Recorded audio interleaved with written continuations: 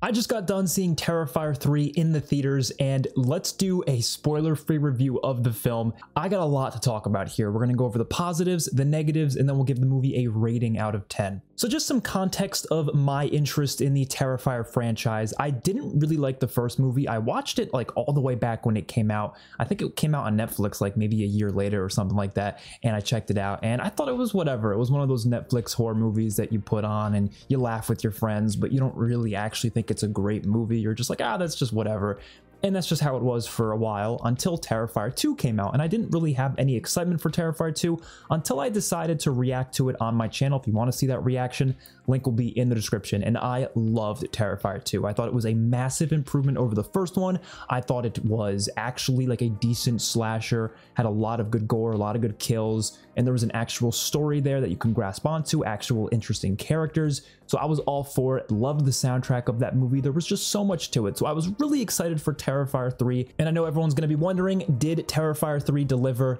And I'm just going to say right off the bat, yes. Yes, it did. This is without a doubt the most boundary pushing and gory movie I have ever seen. Now, take that with a grain of salt because I haven't seen every movie on planet Earth. I've seen, you know, a little over a thousand movies at this point, maybe like 300 horror films. I don't really know. I, I, log, I log them on Letterboxd, so if you want to look at all the movies I've seen, go, go, go take a look. But I, out of all the ones I've seen, you know, I don't dive too deep into like the the really disturbing movies out there. I've seen the disturbing movie Iceberg. There's a certain you know spot there where I'm cutting it off because once it gets to like you know disgusting like almost real movies, it's just I'm just like no, nah, I'm okay. But out of the stuff I've seen, in my experience, I haven't seen something that's gone this far with it.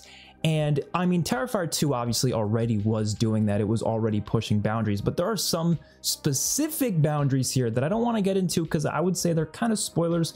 But like, it's stuff that you won't, there's a, a large group of people that's immediately not going to like this movie because of it. And that's completely fair. Like, I, I would understand why someone wouldn't want to watch the movie because of this. But for me personally, although it was really hard to watch and it was like anxiety inducing to the ninth degree, it, it, worked for me though. Like it genuinely didn't take me out of the movie. It didn't ruin the film for me. It was pushing boundaries in a way that just shocked me. But it, I think that gave me a pretty illicit reaction to the movie in a way that makes it kind of effective. I don't know. I'm all for pushing boundaries in movies as long as there's, you know, some level of taste to it and you're not just doing it for the sake of grossing people out. And I feel like, yeah, okay, a big part of this movie is just trying to gross you out, but there is actual purpose to what they're doing here. They are trying to be effective in the way the movie's being made, and I do feel like it's all handled well. But there's quite a lot of scenes in this movie that just, oh my god, man, they don't stop with the gore. It is insane insane how much they show, and they find some really creative ways to have Art the Clown kill people in this movie. Like, way more creative than we've ever seen before. And they were already pretty creative. Even in the first movie, which I didn't like too much, they had a couple of creative kills there. The sequel obviously had a lot of creative ones too, but this one, it is probably some of the most creative kills I've ever seen in a horror film, and some of them were just absolutely fantastic. Some of them were so disgusting that I had to look away. Like, I don't usually look away in horror movies. I'm not the type of person to do that. I, I, I really don't. I had to though. Like it was so bad, I was starting to feel kind of sick. That is the type of movie this is. So if you are very squeamish, I would recommend not seeing this. And I'm not usually squeamish. So the fact that even me was getting that reaction out of this, that tells you something. That tells you that they're doing some really out there things in this movie. But of course, you know, I was seeing it in a theater with a with a packed group of people. So I think that's obviously going to add to it a little bit more when everyone's like jumping and screaming. And it definitely adds to the experience. I'm not sure how different that would be if you're watching it at home. But for sure, this movie is disgusting. It's despicable but it's kind of effective in that manner. I mean, you're watching the movie for that, right? But usually how these movies work, they usually extend these scenes out as much as they can, which that's usually what makes it hard to watch. It's not the gore itself, it's the fact that the gore lasts for like four minutes long. That's what makes it hard to watch. I mean, most horror movies, when there's, a, you know, even the most gory horror movies I've ever seen, usually they cut away after a certain point. They're like, okay, we've shown enough, let's cut away from it. That's not how these Terrifier movies work. They show it for like a minute, two minutes, whatever, straight. And it's just disgusting. And the sound design is so good. The practical effects are so good. They look so real. Like I, I, it's hard to like discern it from reality. It's it's not like a movie where you're just laughing at the effects of how bad they are. No, because these effects aren't bad. These effects are insanely good. So you're just like sitting there like, oh my god. There's maybe like one effect in this movie, one scene that I feel like maybe you can be like, okay, yeah, they kind of didn't do an amazing job with that one, but like 90% of them here, it was just insane work. Damien Leone is just absolutely incredible at what he does here. And I, I mean, I love his Terrifier films and I can't wait to see the fourth one, but I kind of want him to do some other stuff too, because I would love to see his insane abilities here put to some other franchises as well. I think that would be cool, but you know, these Terrifier films are great, so I hope they keep doing them. And I've been talking about gore for like five minutes. Let's get into the actual story itself. Is the story good? Yeah, I would say so. I would say it keeps pretty much consistent with the second film. If you liked the story of that one, if you thought that was interesting, if you thought the characters were good there, it's pretty much the same. I would say Sienna is much more improved in this movie. I mean, I thought she was great in the sequel, don't get me wrong, but she's even better here because her character now obviously has a lot more depth after what she's been through in the second film. So they gave a lot more for her to do in this movie. And Lauren LaVera does a fantastic job in the role. Like some amazing performances, amazing scenes that she gets in this movie. In particular, there's one scene involving fighting Art the Clown. That's all I'm going to say. It is probably one of the most badass scenes in a horror movie ever and i was just like holy shit this is awesome. Like that you know I, I, obviously the kills are usually what you come to these movies for but don't get me wrong seeing sienna kick ass was was actually even better than anything else in this movie. There's also some new characters. One character in particular is a little girl named gabby. She's sienna's cousin and she's pretty cool. She has a couple of, of good scenes and i think she's a good you know part of this franchise. I will say i think this movie balances the supernatural and the gritty elements of the terrifier movies quite well I feel like the first movie was all grittiness. It was very grounded. There really wasn't much supernatural stuff going on. Maybe like one or two moments, but for the most part, it was pretty grounded. The second one kind of went crazy with the supernatural stuff towards the end of the movie, even so much to the point where when I first watched the movie, I kind of thought it was off-putting. I was like, well, what was all this stuff? I thought this movie was supposed to be grounded, and they just went insanely supernatural with it. But honestly, I kind of, looking back on it, like that part of Terrifier 2 quite a bit. I thought it worked. I just thought it was maybe too sudden.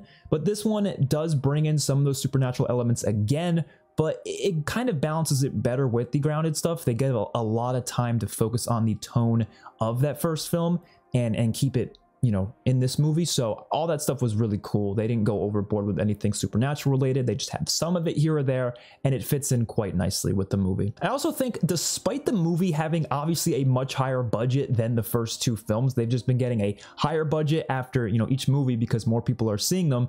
And, you know, but despite that, they're still retaining the same tone and feel of the other two movies, which I think is a really interesting thing that they're able to do. Now, that's not to say it's like an insanely high budget or anything. I believe it's like a 2 million budget or something like that. I think the second one was 250,000. So obviously it's a pretty big improvement over the second film. I'm sure the first film was even lower, but it's not like, you know, we're not going like a hundred million dollar movie here. That would be insanely ridiculous. But still, even with the higher budget, it still retains that feel the first two. And I think that just is really cool. I think they utilize the Christmas theme of the movie quite well. I was really looking forward to seeing it be Christmas themed. I thought that was a cool route to go, and they do a great job with it. There's a lot of interesting Christmas related things that get involved in the movie. Obviously, Art the Clown is wearing a Santa Claus costume for some of the movie. You see that in the trailers, and I don't know, I think it's a cool little detail that they decided to go with, and it, it worked for me for the most part. And obviously, one of the best positives is, of course, Art the Clown himself, played by David Howard Thornton. Absolutely incredible job. Probably the best performance from him in any of these movies. Because, I mean, of course, he's supposed to be this terrifying figure, he's supposed to be this terrifying character, but at the same time he's also kind of funny like he has a both sides to him and this movie somehow manages to balance that almost perfectly. Like i think the other two movies did fine with it don't get me wrong but the balance between him being just absolutely terrifying every time he's on screen but also just kind of making you laugh quite a bit. I mean I, I laughed a lot in this movie. There was many moments i was dying of laughter. But he the next scene he will have you like piss in your pants. Like it's insane how fast he could just change like that but it's just incredible. There's actually another big character in this movie that is also really, really fantastic, and this is Victoria. So Victoria is a character, you might not even know who that is, but she was in the first film, she was also in the second film, only for a little bit. She didn't have a big role to play in those movies, but now she is a pretty primary role in this film, and she is absolutely phenomenal. I would say she's almost just as good as Art the Clown. She's not as funny necessarily, but she definitely has a terrifying side to her. I actually there was a couple scenes I laughed from her. I mean, it was almost like an uncomfortable laughter though. Like it, it was just I don't know. You have to watch the movie to know what I'm talking about. But oh my god, man, there are some there's some sick stuff in this movie. That's all I'll say. But of course, the movie isn't perfect. Let's get into some of the negatives. One of the negatives I thought of leaving the theater, actually, I felt this kind of throughout most of the movie, is I just don't think the soundtrack was that great, especially compared to the second film. And maybe this wouldn't be a problem if the second film's soundtrack wasn't so good, but I was just expecting another fantastic soundtrack because genuinely Terrifier 2 has one of my favorite soundtracks of any horror movie ever. And I'm talking licensed music and the like original music for the movie. Like the entire soundtrack was phenomenal.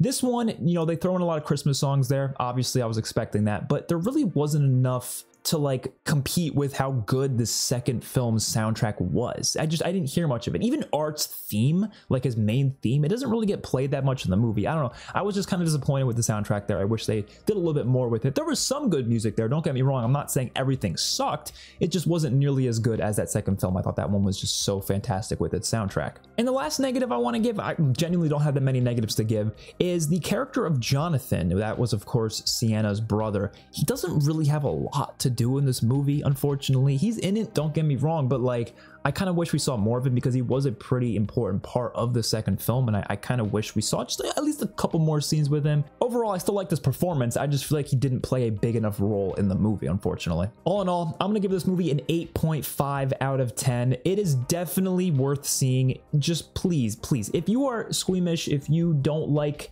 very gory movies, if you feel like you won't be able to handle that stuff, I just I just wouldn't spend the time to see it. But if you want to challenge yourself and you really want to push you know what you're able to watch it's worth it. I think it is. It is a fun movie. It is fantastic. See it with a group of friends. They will all be screaming. They'll be closing their eyes. They'll be you know there were some people in the theaters that were sitting there like this the whole time. I was like, how are you not like reacting to this at all? I mean, well, clearly they were not born to be YouTube reactors. That's maybe why I'm a YouTube reactor. Cause like some people think I fake my reaction sometimes, but like if you were looking at me in the theater, you can clearly tell like, I'm not, no cameras on me in the theater. I was sitting there in the seats going like, oh, like, I was doing that the whole time. I was probably pissing people off around me, but like genuinely that was just an honest reaction to seeing this movie. It was just that disgusting and insane that you just couldn't help but make faces and, and yell out loud. Just, it happened. It had to happen. But it is still a solid movie.